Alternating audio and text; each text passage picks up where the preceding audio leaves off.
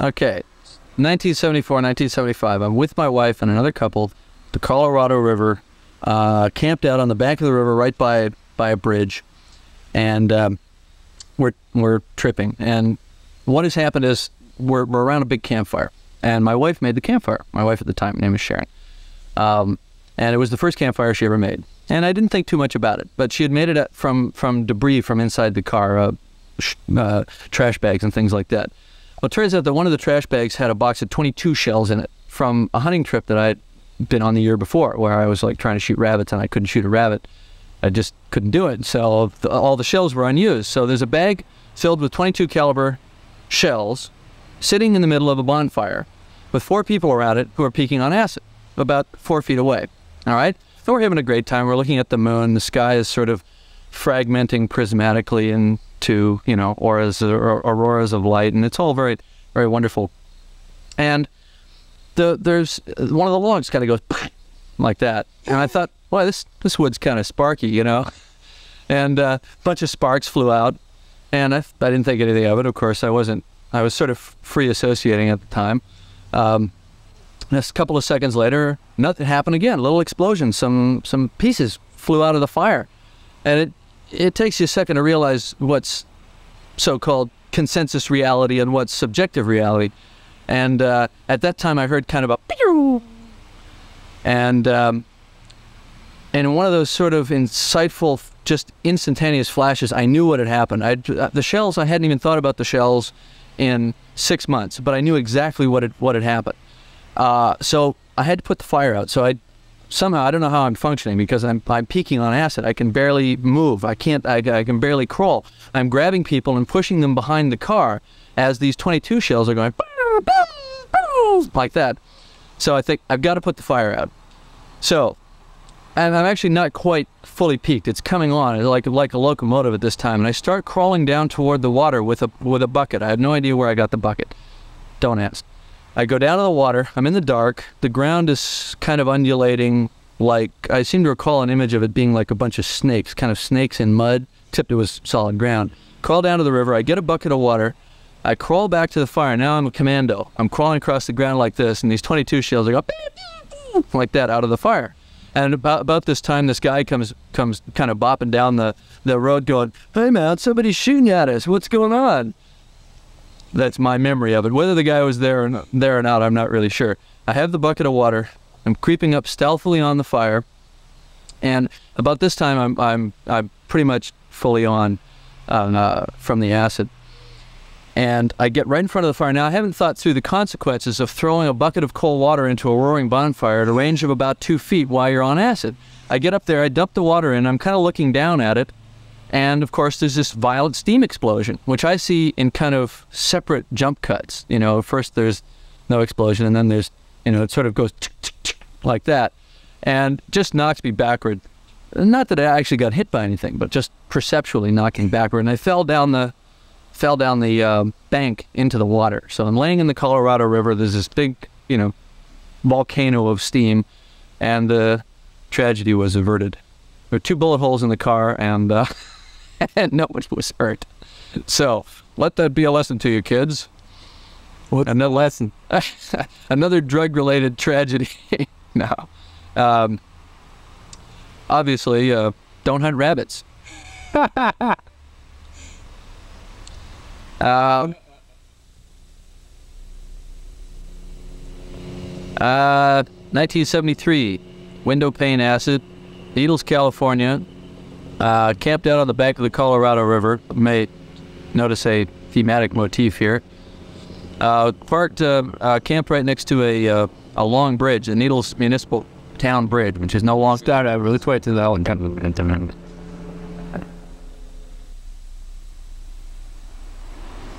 Okay, it's 1973. Uh, peaking on window pane acid on the banks of the Colorado River in Needles, California, uh, about uh, 50 feet from the Needles Municipal Town Bridge, which doesn't exist anymore. And uh, having a good time watching the car headlights coming across the bridge as they are fragmented prismatically through the um, through the railing of the bridge. Very stroboscopic effect and uh, very hypnotic under the influence of the uh, of the LSD. I'm with uh, three other people. My wife at the time, Sharon, and and another couple. And um, the um, the guy, the other couple, had never done acid before, and uh, he, I, I had uh, been working on him a little bit. I was a very supportive uh, co-tripper. I'd been working on him about the about the police earlier, and uh, he had he had uh, generated some fairly severe paranoia. And we were joking that every time a car came across the bridge, it was a police car, and it kind of working him up into a lather. Shouldn't have done it. And uh, this went on for an hour or so. And uh, every time a car came came across the bridge, we'd see ten times more lights than were really there, and think that, that the yeah the entire uh, National Guard was descending on us, and got a big kick out of it. Finally, the car comes across the bridge, stops about 50 feet from us, up at the top of the embankment, turns on a spotlight, shines down on us, illuminating the ground all around, just this pure white radiance. And it's a real poli- it's a real cop. And this this guy who's been sitting on his sleeping bag the whole time gets this incredulous look on his face, and he stands up in the middle of the spotlight and points at the at the at the police car and yells at the top of his lungs, "He's real! He's real!" Like this. the cop, who already knew that he was real, must have thought that that was something he did not even want to mess with. He got back in his car and drove away. End of story.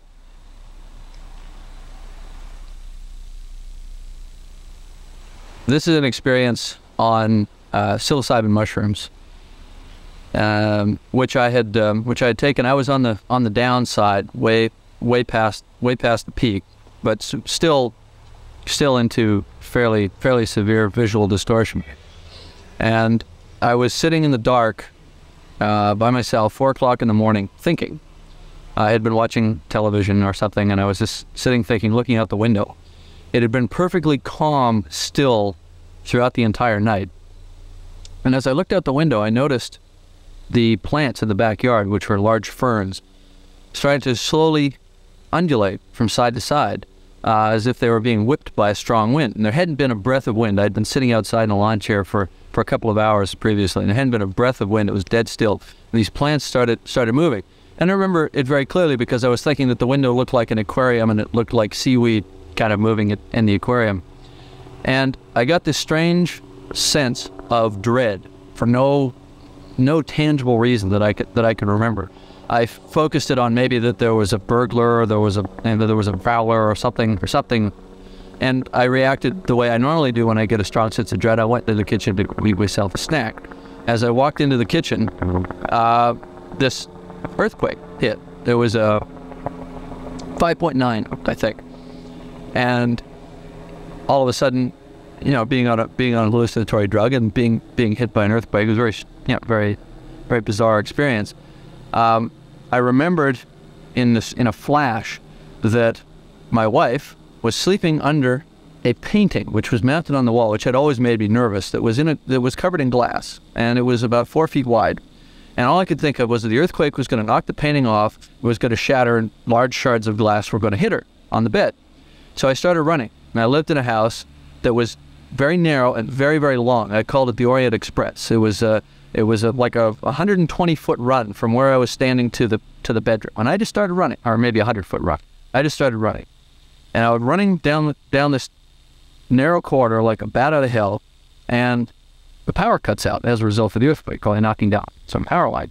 So I'm running in total blackness, um, on a hallucinogen in an earthquake, and I run smack into the wall, knock myself out.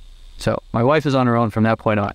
I didn't really knock myself out, but I was stunned, and it took me uh, the duration of the rest of the earthquake to to kind of come to and crawl on the floor and get into the bedroom. So I, she wake up. She slept through the whole thing, of course, but she always did. She missed all the good earthquake. But you went in and told her that I saved her. I took credit for it.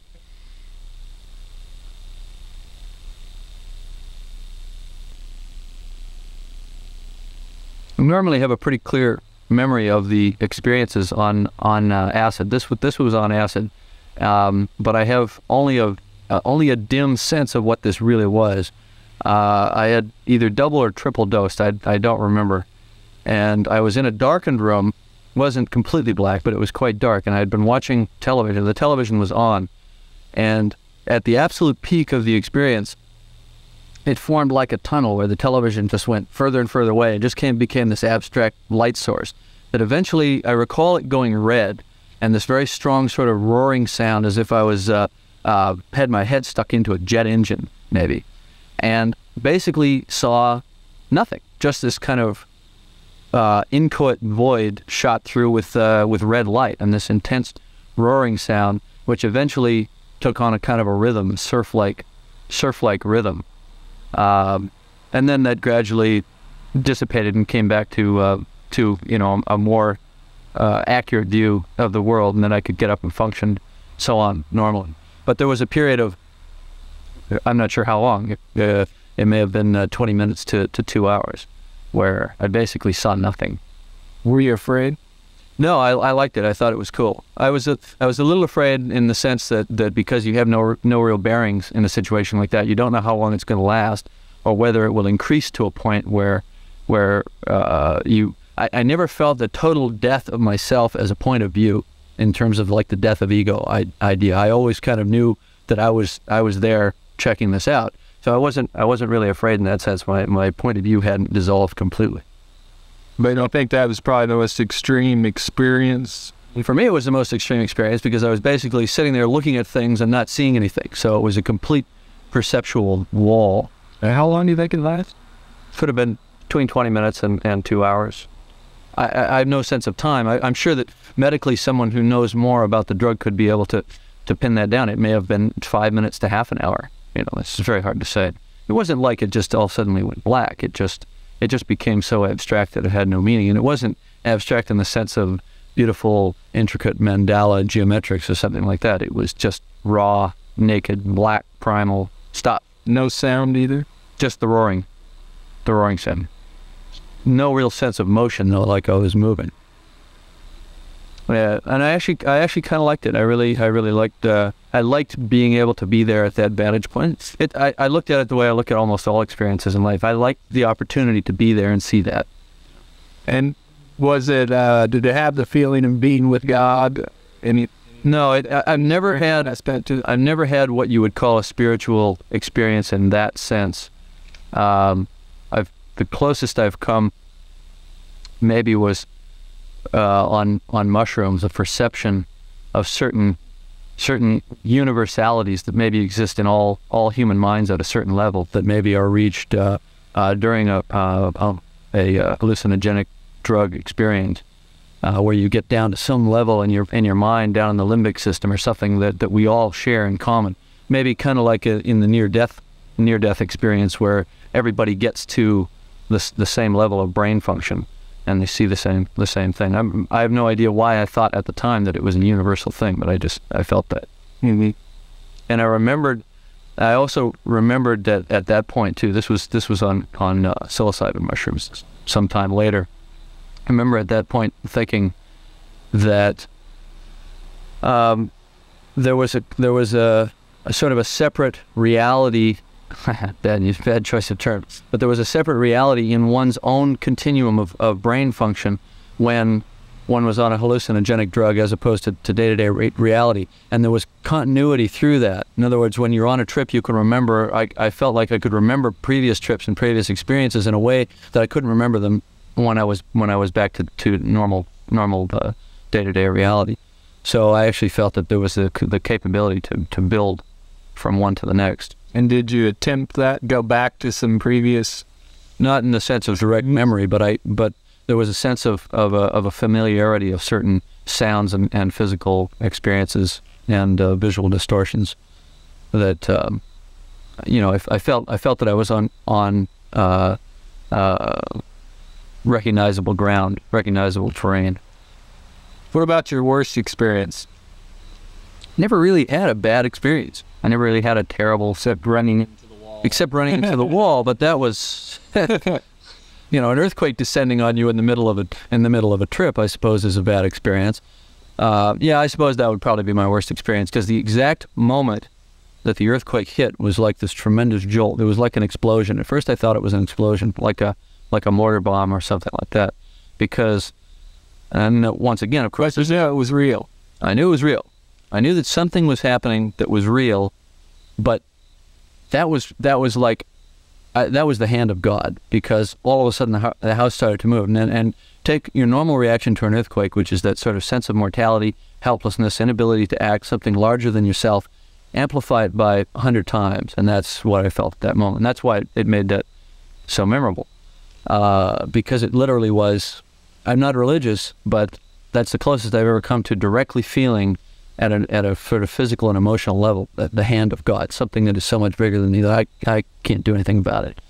And also the helplessness of, of being slightly impaired physically and not, not able to deal with an emergency situation.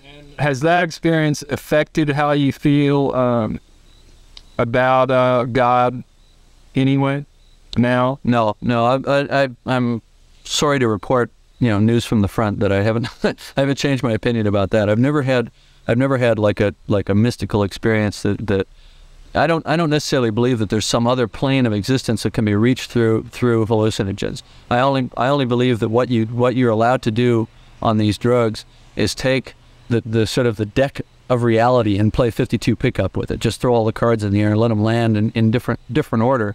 You know, reshuffle it and see different associations. It just allows you to kind of get outside normal reality and look at it from the from the side. That's that's that's why I do it. I, I don't I don't feel that I'm that I'm pushing through to something that really exists that can only be reached this way. I know other people do believe that, but I don't. I feel that that's that's a trick of the mind. I think that there are certainly realms within my own mind that it allows me to explore, and it allows me to make uh, associations and have sort of little perceptual leaps that I, I might not otherwise have. So it's certainly worth the worth Have price. had experiences similar to these um, without drugs? Oh yeah, sure, but but to a to a lesser degree.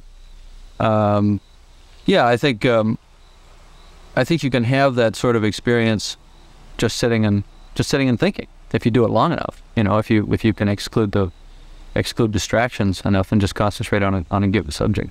I, they're just not as strong. You don't feel them at a physical level. I think these. I think one of the things about about uh, acid is that, or or you know, other hallucinogens as well, is that you can you can feel an intellectual thing at a physical level and has tremendous power as it as it sort of crashes through your, through your body, and it makes it makes it very memorable. Are you able to be creative on acid? On acid, no, no. You've tried. Um, I've never actually even tried. I've never really been able to to get up and move at the exact moment that I was having these thoughts. And it's, it's a bit frustrating because you know that you never remember them with the intensity that you perceive them at that particular moment. You've never tried to write them down. No, no, I, I've never tried to write them down at the time they were happening. Or paint. I don't think I could paint. But then my, my, my style of painting is very representational, very, very focused. I don't think I could just sort of start slashing around colors. Basically, I think your, your motor coordination is not good enough to be able to express what's happening. I don't feel very articulate. Other people may, may do that, and maybe that's a discipline that one can learn. And you've never had a bummer? No, I've never had a self-induced bummer, in that sense of of coming across some sort of dark corridor in my uh, in my mind that I that I would have preferred not to open. Uh, all my acid trips were with my um, my ex-wife Sharon, and she never she never had a bummer either. And, and I think sometimes being with I, I'm I'm assuming that being with a person who who uh, uh, maintains well emotionally uh, may be significant. Is it something you recommend to people that have never done it before? Oh, it's a very guarded recommendation because I don't think, you know, I don't think it's for everyone. I think that there there are people that have a fairly fragile grasp of consensus reality, as it as in their normal lives, and this is this would be the last thing that would help them. But I think that uh, it's not as harmful as a lot of other people uh, might assume it to be. Uh, I would recommend it to certain people. You think it should be legal? Well, I mean, obviously, you know, subjectively, I would say it should be it should be available legally, possibly via, you know, prescription to you know psychiatrist or, or whatever, so that it can be it can be another in the in the lexicon of tools of uh, of therapy or you know whatever. How about legal for fun? That's a tough issue. I think that's a tough issue. I probably haven't given that enough thought. Because obviously that's how you've done it. Yeah, I, for me, it, for me, it's purely recreational. It's been purely recreational. I don't know. It's it's pretty hard to answer that question without sounding like you have a double standard, or hard for me to answer that question without sounding like I have a double standard. Now, what would the double standard? Double standard would be, yeah, I I wouldn't want to be I wouldn't want to be prosecuted for having done it, but I also don't think it should be legal because I think that there are people could who could harm themselves with it. So that sounds like a double standard. Just making it uh, an age limit you take care. I don't think it's a function of age. I mean, it, the the argument that a young impressionable mind can be could be affected by it deleteriously more so than than an older person, I think can be countered by the fact that I think young young people can withstand almost anything in a, in the you know physically and, and emotionally more than they can let than people can later in life. Uh, they can withstand direct direct trauma or, or whatever one. So uh, you know that's an argument that can go back and forth. I really don't have the don't have the facts on that, but I do feel that age limit is not the answer to it. Okay. Did, uh, you said that you put off doing it. You didn't do it when you were young. That's right. I, I was uh, a number of my friends were, were doing it, and it was uh, in uh, sort of 1968, 69, 70. Uh, I lived in Canada at the time, so we were getting that kind of crest of the wave of the 60s a, a couple of years later than than everybody else, at least where I lived, fairly fairly sort of remote from the major centers, cultural centers. And uh, You were interested in everything else of the counterculture. absolutely, absolutely. I mean, I was, I was, you know, politically, I would say I was very radical. I was not conservative at all. And you were But that one music and and the music and everything else, and I was I was probably one of the at, at a conceptual level one of the wildest kids in the school. But for me personally, the loss of of physical control or mental control inherent in any kind of drug, uh, alcohol, marijuana, whatever, uh, was an abhorrent concept. But basically, it was it was a bit puritanical. It was not an informed decision. It was just a fear uh, of loss of control, loss of personal control, and it took me a while to break through that. what changed? Uh, having somebody that that uh, that I trusted say that it would be all right, and just seeing seeing basically that you didn't die from it, you know, after after a couple of years. And what led up to you doing it the first time? Was a big, big decision or more spontaneous? It was, yeah, I think it was a fairly spontaneous decision at that at that point. I mean, in other words, I had reached a point where I, I was comfortable doing something like that, had enough confidence How myself. Uh, 22, 23, something like that. Jim? Uh, let's see. Any other general thoughts about what it does, how it works? Well, I mean, I've read I've read uh, the scientific literature of what it does at a at a biochemical level in terms of you know altering the neurotransmitter function and that sort of thing. But I don't think that ultimately tells you anything. I think you could you could probably be a scientist and study LSD your entire life and not understand it if you didn't ever take any. And that's the that's the biggest problem is that it's entirely subjective. Even your own memory of an acid experience is, is a shabby tin type photograph of something that, that, that happened. Uh, our memory just can't can't keep the you know the physical, emotional, visual details of something that that intense. You have to do it, and there's no way to, to, to tell somebody about it. And I don't think there's any way of, of bringing it back, either cinematically or uh, in in uh, or literary, uh, literarily, or, or any other way. Um, it just has to be directly experienced, and it's an entirely subjective thing. So in that way, I think it's very good because it can be a confidence builder. You're in a world by yourself, basically, you know, the world of your own mind, and you have to you have to learn how to deal with it. And there, those are building blocks. They, they're. I think that if it if it goes well, it can be confidence building. You'll find out a basic sense of, of yourself and what your what your capabilities are at a very raw and primal level. What do you make of the ESP or clairvoyant aspect of with people you're with when you're on the drug? I think You can communicate without speaking. I've had that. I've had that feeling. I had an interesting experience once um, on on one trip at at um, with with my wife again. We were we were alone, and I had a pet lizard, this uh, a monitor lizard, and uh, it was normally normally for, uh, it was a very aggressive creature, but uh, when provoked, but unless it was physically provoked, it would just lay in its cage and never move.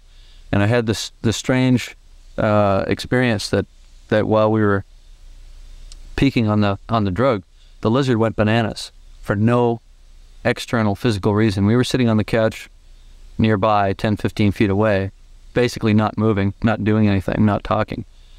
And it just went absolutely insane, lashing around in its cage. It was hitting the glass with its tail so so hard that I was certain it was going to break it. It had never done that before, and it never did it since. And I got the strange sense that it was somehow responding to us. But whether there's a physical explanation for that, I don't know. Maybe we emit a certain, you know, we we communicate chemically at a level we don't really understand very well in terms of pheromones. Possibly, there may have been some sort of biochemical reason for it to do that. Um, but I had an uncanny sense at the time that it was just responding to our to our mental state. I could have seen that that could be sociological as far as the lizard saw you behaving in a way that he doesn't normally see you behave. Yeah, but that but that uh, the the lizard is functioning on a very very tiny chip basically, and and is almost completely immune to the behavior of, of humans around it. Uh, except it's a very immediate sphere. If you put your hand in its cage, it would it would attack it. But it you could tap on the glass, make faces, do things. People would come in and out all day, pass it, and, and it would never react that way. So I, I can't buy that from from the standpoint of the normal senses of of sight sight and hearing. What did Uh, you think at the time? At the time, I thought that the lizard was responding to our to our uh, to our state, to our you know altered perceptual state. Did you try to communicate with it more? I think I went over and looked at it, um, and it was just so insane. It was actually quite quite a powerful display of energy, of extremely primal energy on the part of this creature. It just went nuts. But you know, but I think there's a possible a possible physical explanation for that, which is that very very very microscopic amounts of, of LSD obviously can have an effect on probably can have an effect on the nervous system of a simple creature, and it may have been communicated through the air or something like that, in the sense that a pheromone can be communicated through sweat or whatever. You know, only a few molecules might be enough to, to trigger off such a simple creature. Just a theory, but I, I tend to, I, the way my mind works, I always tend to go for a physical explanation before some ephemeral, ephemeral, you know, unproven energy or vibration that has never been indicated. I mean, I studied physics before I started as a filmmaker. And, I've got a lot of faith in the physical universe. One man's opinion.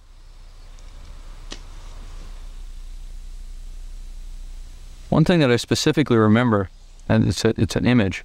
I was standing in front of the bathroom mirror with a carton of milk, for some reason. Don't ask me how that came to happen.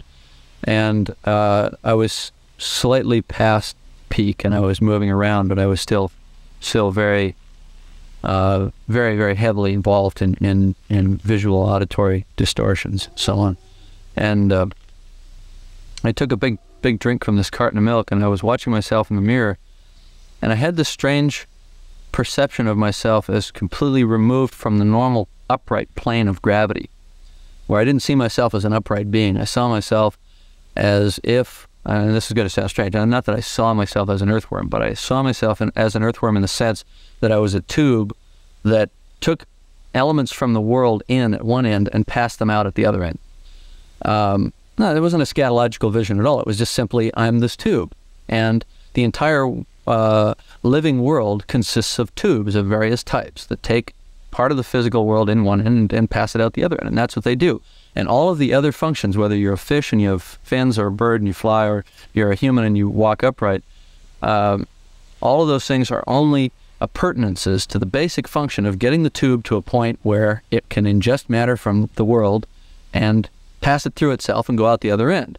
Meanwhile, it has to avoid other tubes which want to pass it through them, and it also has to have a brain which is at various levels of, of development for different creatures to determine how best to do that, um, how to find it, how to uh, uh, so, uh, dissociate the, the bad from the good, the things that, that will you know do you harm from the things that won't, and uh, avoid getting uh, getting passed through other tubes.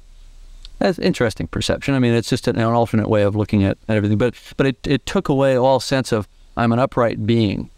Uh, I felt like I was an illustration in a biology book where you know where everything is always laid out horizontally, whether it's a flatworm, an earthworm, a frog, whatever. It, there's no it, primates are really the only creatures that move on an upright plane anyway. So this it, basically it was probably some sort of uh, racial memory going back. Do you think uh, you could have forks? Let's see the way to phrase this question. As a scientist, you have a scientific background. Do you imagine you could have thoughts that could lead to a scientific breakthrough on, on this? Absolutely, I think so. Absolutely, at the level of of um, of physics, of of very uh, very pure science, physics and mathematics, quantum physics, and things like that. Um, I think you could you could make associations. You could you could um, you could think about energy and the movement of of particles and so on.